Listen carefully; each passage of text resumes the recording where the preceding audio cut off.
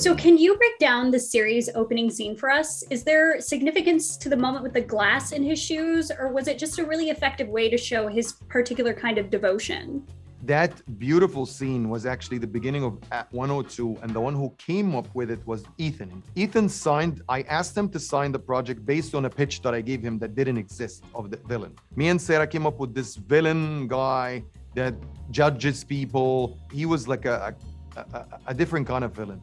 And I knew that someone like Ethan Hawke wants to work in an environment that he can be part of the creation of the character. So I told him, join the project and let's create this together. We, we, the three of us and the writers. And that's what happened. So when Ethan came up with this scene, that's the moment when, when I realized and he realized, okay, I know that character now. I understand him very well. He is not a trickster. He's not a false prophet. He's a he's a, a, a prophet that is on the wrong, but he's a prophet. He's someone who believes in what he does. And um, later on, we loved that scene so much we felt this could put us in the mindset of the villain and set the tone of the whole show. And uh, it's it's just a great start for the whole show. He mentioned that the shoe scene with the glass was actually your idea because, like, I went in excited to talk to him about it. he was like, "That was all Ethan."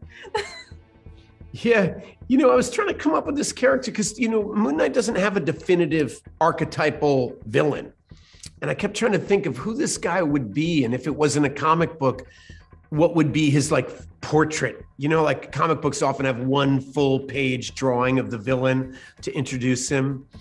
And I was like, what would it be? What would it be? And what's his secret? You know, if you could see behind closed doors, what's he doing? And I thought, oh, he's pouring glass in his shoe and um, listening to Dylan.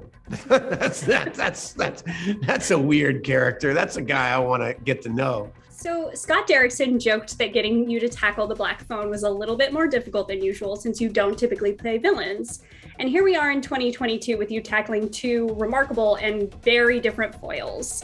What drew you into Harrow's particular brand of self-righteous villainy? Well, for Scott, I'm really playing a villain. I mean, the, the truth of the matter is that is a villain. Harrow falls into a line of characters that I've often, I mean, Harrow doesn't think of himself as a villain. And I don't think, and when you see the whole series, I'm not exactly sure that he is a straight up villain. He operates in a different lane, whereas in Black Phone, my character is genuinely terrifying. And this is something else. This is more of a nuanced character. He, Harrow thinks he's saving the world. He thinks he's going to heal. I mean, he thinks he's Saint Harrow you know? And that, of course, is his problem. When anybody thinks they're a saint, kick them out of the room, you know, uh, immediately. Because his great problem is probably his spiritual pride, so to speak. But I do think, you know what, to grow is to change, right? And I have to keep changing as an actor and keep finding different ways to put myself in gentle ways to challenge myself to create different characters. And being inside different genres really helps. And this is a genre I've never been in. This this Marvel universe is in a way its own genre. You know what what the humor is, how the action works, how the stories are told. They have their own tone to them. I don't know, this is just where I find myself at this point in my life. So, you've mentioned having a love for comics most of your life, but you waited patiently for the right comic book role to come along. Do you hope to dive into more of these characters in the future? Yeah, I mean, you know, it's it's it all depends on on your collaborators you know? An actor doesn't really work with a studio. You know it doesn't really work like that. You work with the other people on set right? And so yes the studio creates the environment.